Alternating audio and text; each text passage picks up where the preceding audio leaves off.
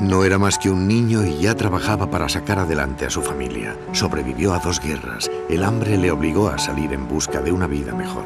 Y aunque lo único que encontró al principio fueron dificultades, no se rindió y siguió adelante. ¿No crees que este hombre merece todo tu respeto? Como él, muchos inmigrantes viven y trabajan aquí.